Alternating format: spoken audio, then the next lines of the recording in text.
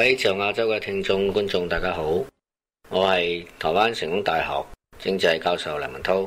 今日想同大家分享嘅評論係美中角力全面升溫中的特朗普連任之路。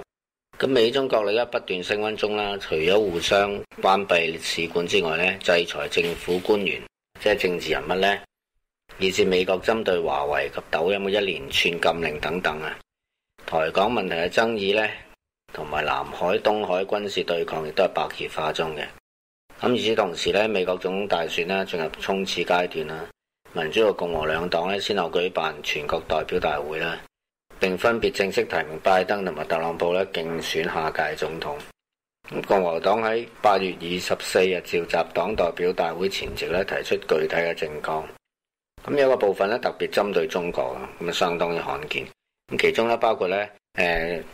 從中國帶回一百萬個製造業工作機會啦，搬翻企業翻去美國嘅話咧，可以享有減稅優惠。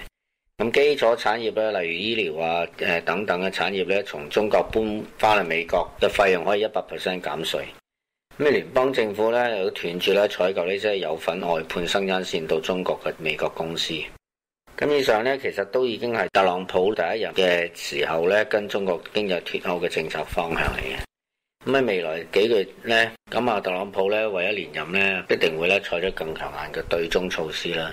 咁近日民調顯示咧，特朗普支持度咧逐漸逼近拜登啊，但係大家唔可以確定咧呢個係咪同佢對中國越嚟越強硬嘅立場有關啊？不過咧，我哋可以想象咧，拜登同民主黨要面對中國嘅立場咧，亦都會被逼咧稍微咧係強硬起來。咁事實上咧，根據民主黨黨代表大會通過嘅民主黨二零二零版嘅黨綱內容咧，相較於二零一六年涉及台灣嘅部分咧，刪除咗原有隔首一中政策嘅呢個方式啦。咁咧，但仍然保留承諾咧台灣關係法。咁刪除一中政策咧，係被視為係疏遠中共一個策略性動作。咁啊，至於拜登如何面對中國威脅咧？佢同民主黨咧，只係針對貿易關聯、知識產權被盜咧係着手啦。咁啊，表示咧會就不公平嘅環境同貿易操作咧，係問中國問責，但咧就唔會咧以單邊關稅嘅手段處理，或者坠入咧新冷戰嘅陷阱。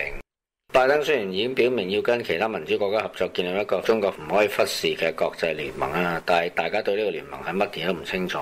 咁其實拜登咧，極有可能咧表面上強硬，但係實際上咧延續奧巴馬嘅懷柔政策，而唔係咧要確立新冷戰嚟到去對抗中國極權政府。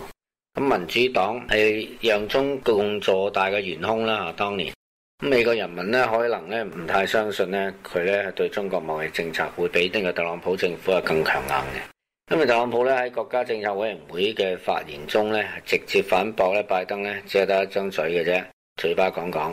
咁咧，或许咧，我哋唔知道拜登真系会做咩啦吓，咁但系我哋知道咧，特朗普政府咧正在做紧乜嘢。咁庞贝奥咧喺过去几个月咧一直游说西方国家咧加入围堵中国极权政府嘅行列啦。咁美国咧就唔系要跟盟友讨论点样面对中共或者中国威胁，而系要领导大家一齐去大幅削弱中共嘅力量，甚至系要消灭佢。咁咧目标咧非常明确嘅。咁显然啦，民主党仍然咧只系要去改变中共。而唔係要消滅佢啦。呢個特朗普政府咧，應該已經洞悉到咧，自由民主國家咧跟中國呢個乜極權國家對戰咧，係一場不對稱嘅戰爭嚟嘅。中共會各種嘅經濟活動咧嚟掩飾佢嘅滲透間諜行為啦嚇。咁啊，抖音咧又好啦，華為又好啦，一切商業活動嘅背後咧都有政治目的嘅。咁就要搞壞搞亂呢啲民主國家，設定隱私啦，同埋偷竊呢個知識產權啊。咁啊，相反咧，同類型嘅美國或者西方企業咧，都有嚴格內規嘅，唔會有非法狀況配合政府打壓人民或者對外滲透。咁大家應該都會相信 CIA 或者 FBI 咧，早係有呢啲相關嘅情資。咁但係只有喺特朗普政府創造反共嘅氛圍之下咧，才有今天咧係封殺華為啊呢啲咁嘅行動。咁啊，然而咧，誒呢啲行動咧會遇到阻力嘅。咁啊，除咗受制裁嘅企業，好似呢個抖音會對禁令採取法律行動外咧。咁嚟自民間嘅反對都不容小觑嘅。咁啊，例如咧，近日咧傳出咧係不少美國嘅中國人咧，同埋中國做生意嘅美國企业反對禁用呢個微信啦。咁原因係禁令咧係對要跟中國境內家人聯繫嘅中國移民啊，或者留學生以及相關嘅美國企业嘅經營影響咧都好重大嘅。咁 WhatsApp 啊、Telegram 啊呢啲咧，其他軟體咧被中國禁用嘅。咁啊，極權政府邏輯好簡單嘅，作為崇尚自由嘅國家，美國點樣可以禁止替北京效命嘅公司進入美國市場呢？係咪？咁你要容許你嘅人民用我嘅嘢，但係我咧係唔會容許我嘅人民用你嘅嘢嘅。咁更荒謬嘅係咧，微信嘅政治審查咧，居然可以擴展到海外。咁啊，華盛頓郵報咧曾經報道咧嚇，微信咧係對誒中國境內用戶咧審查咧係毫不鬆懈嘅。咁啊，去年咧美籍中國人咧因為討論香港反送中運動而被關閉嘅賬號啦。咁美國政府咧對此咧束手無策嘅。咁中國策略喺各方面咧誒各個重要領域咧製造紅二代、紅三代喺幕後操控嘅巨無霸企業啦嚇，好似騰訊啊、阿里巴巴、華為咁啦嚇。咁呢啲大到唔會冧嘅企業咧，不斷擴大嘅市佔率，造成大家對佢嘅依賴，從而咧難以切斷同佢嘅聯繫，或者大幅削弱佢嘅影響力。不過咧，特朗普日前咧係強調同中國經濟完全脫鈎係可能嘅。咁睇嚟咧，佢心智內必須盡可能咧擺脫中共嘅影響。